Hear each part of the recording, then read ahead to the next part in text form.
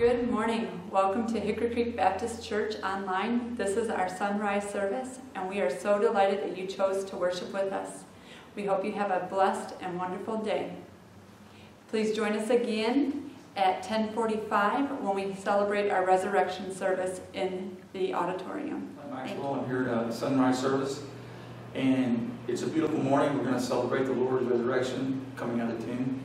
But we're going to, this morning, we're going to pray for the service. If you join me, wherever you are, brothers and sisters, join me in prayer, please. Father, Heavenly Father, thank you for this beautiful day that you've given us, Lord, a day that you um, that we celebrate your resurrection, you're walking out of that grave, Lord, defeating death and sin for us. And Lord, I just pray that this morning as we as we worship you, as we as we look we look into the scriptures, we look back to your resurrection and we, we celebrate we celebrate that, Lord, that our entire faith hinges on this very thing. You exiting the grave, Lord. I just pray that this service would be a blessing, that you'd be lifted up. I pray that whoever's uh, wa- uh, watching this online, that the hearts will be changed. And if, you're, if you don't know uh, Jesus as Lord, that today would be the day that we would realize that, you, that we're sinners and we need a Savior. He went to the cross, He paid for your sins, uh, He bled and died, and He went into the grave and He came out of it. And um, He's the only one out of all the faiths around the world, He's the only one that came out of the grave, defeated death. And Lord, so I just I pray that, um, that whoever hears this, if they're not saved, Lord, that they would accept. And uh, Lord, just uh, be with this uh, message so this morning the pastor is going to bring, Lord, and may be, may penetrate our hearts, may change our hearts, and change our lives. May we, may our lives reflect you, Lord, and and um, in your word. And I just give you thanks today in Jesus' name.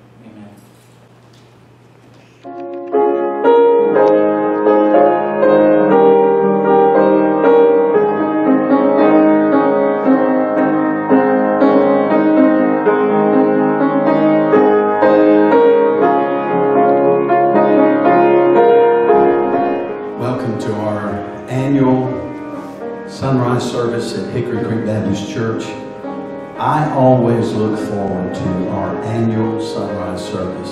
Such an exciting time, such a beautiful time, and we're delighted to be able to meet with you this Easter Sunday, even though you're not present. But we thank you for tuning in to the services. I always look forward to reading the account of the resurrection in the Gospel of Luke, chapter 24. I'm going to read verses 1 through 12. Now, upon the first day of the week, very early in the morning, they came into the sepulchre, bringing the spices which they had prepared, and certain others with them. And they found the stone rolled away from the sepulchre. And they entered in and found not the body of the Lord Jesus. Praise the Lord. And it came to pass, as they were much perplexed thereabout, behold, two men stood by them in shining garments. And as they were afraid and bowed down their faces to the earth, they said unto them, Why seek ye the living among the dead? He is not here, but is risen. Remember how he spake unto you when he was yet in Galilee, saying, The Son of Man must be delivered into the hands of sinful men and be crucified, and the third day rise again. And they remembered his words and returned from the sepulchre and told all these things unto the eleven and to all the rest. It was Mary Magdalene and Joanna and Mary, the mother of Jesus, the other women that were with them, which told these things unto the apostles. And their words seemed to them as idle tales, and they believed them not. Then arose Peter and ran unto the sepulchre, and stooping down, he beheld the linen clothes laid by themselves, and departed, wondering in himself at that which was come to pass. May I tell you that the truth of the resurrection is not just in these verses alone in the Gospel of Luke, but really the truth of the resurrection is found throughout the entire Bible, the Old Testament as well as the New Testament. In the book of Job, chapter 14, verse 14, Job asked this question If a man dies, shall he live again? And I believe that God gave him a divine revelation revealing to him about his Redeemer, which is our Lord and Savior Jesus Christ. Because in chapter 19, verses 25 through verse 27, Job makes this declaration For I know that my Redeemer liveth, and that he shall stand in the latter day upon the earth. And though after my skin worms destroy this body, yet in my flesh shall I see God. whom I shall see for myself, and mine eyes shall behold and not another, though my reins be consumed within me. And then in the New Testament, Jesus always referred to himself in the present tense. You remember when he went to the grave of his beloved friend Lazarus, and you find that Mary and Martha were weeping, and they desired to be comforted by Jesus. They were confused, and I think maybe there was a bit of anger in their heart because they said, Lord, if you would have been here, our brother wouldn't have died. But you remember how Jesus answered? He said, I am the resurrection and the life. He that believeth in me, though he were dead, yet shall he live. What a great truth that is.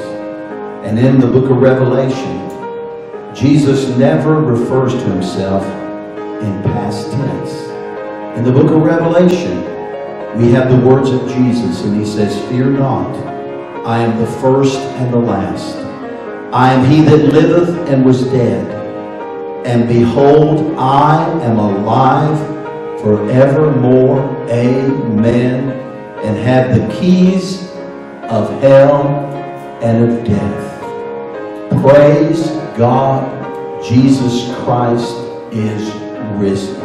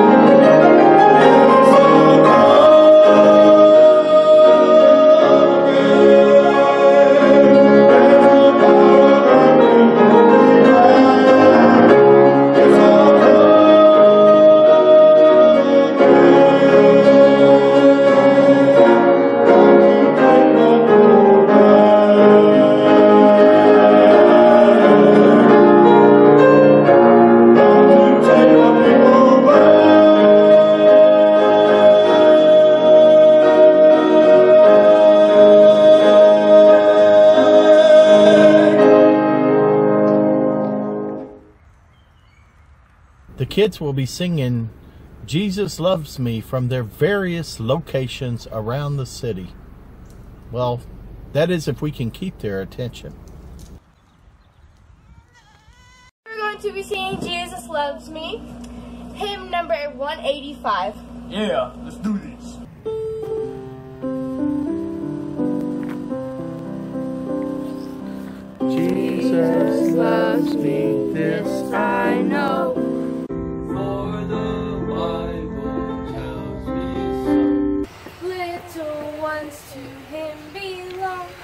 They are weak, but he is strong. Yet he is loving.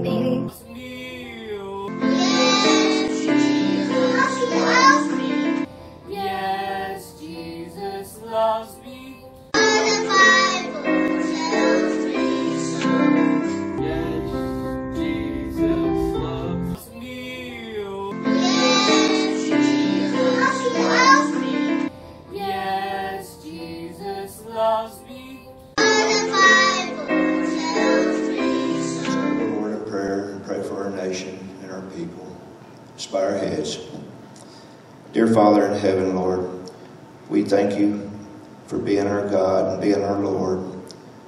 Lord, we pray for our president. Be with him, give him the strength and courage, and give him the rest that he needs, Lord, to continue on and fight this battle. And we know that you're in the forefront of it all, Lord, and that it's ultimately it's up to you what happens with our nation. But we do pray to you, Lord, that you would be with us, Lord, and just heal our land and be with our people, be with the sick that are suffering, Lord. We thank you for everything, God. We thank you for dying on the cross and rising again. Be with all of our church members, Lord. Be with the ones that aren't feeling well. We pray, Lord, that you would just be with them. Bless them, Lord. Bless our church and continue to be with us help us to be a shining light in this community, Lord. We thank you for everything, Lord. In Jesus' name, Amen. Amen.